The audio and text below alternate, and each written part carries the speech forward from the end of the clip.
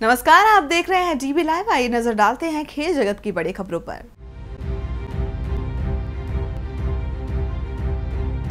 Junior hockey world cup से बाहर किए जाने पर पाकिस्तान ने भारत को ठहराया जिम्मेदार। तय सीमा के बाद वीज़ा के लिए अर्जी देने पर अंतर्राष्ट्रीय हॉकी महासंघ ने किया बाहर।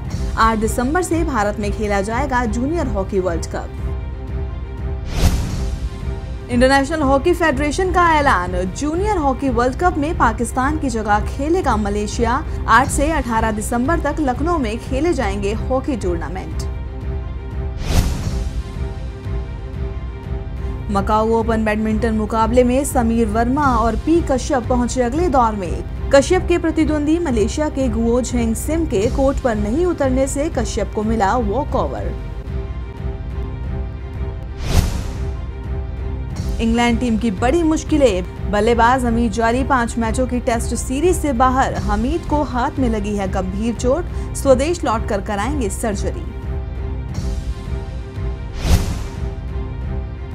विश्व स्नूकर चैंपियन बनने से चूके पंकज अडवाणी पंद्रह बार के विश्व चैंपियन अडवाणी को कांसे से करना पड़ा संतोष। सेमीफाइनल में वेल्स के एंड्रियो पगेट के हाथों दो सात से करना पड़ा हार का सामना।